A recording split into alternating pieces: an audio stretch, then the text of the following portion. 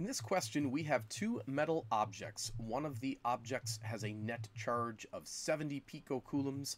The other object has a net charge of negative 70 picocoulombs.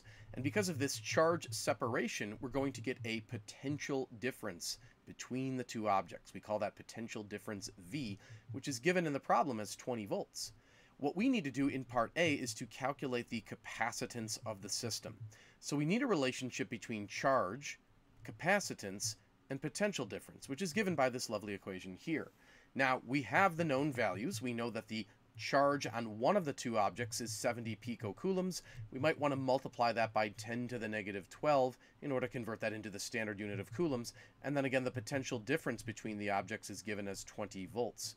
So to solve for capacitance, we would go into this equation and we would divide both sides by the potential difference to cancel it out on the right-hand side.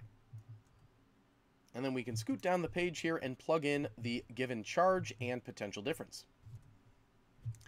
And when we simplify this, we get 3.5 times 10 to the power of negative 12.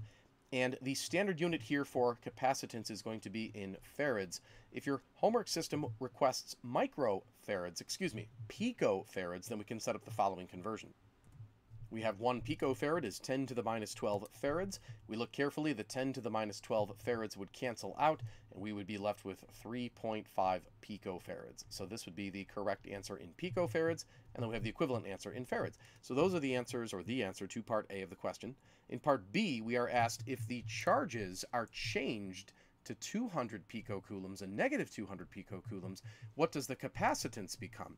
Well, the capacitance is an inherent property of the metal objects. So it actually doesn't matter if we increase the amount of charge on them, the capacitance is going to remain the same.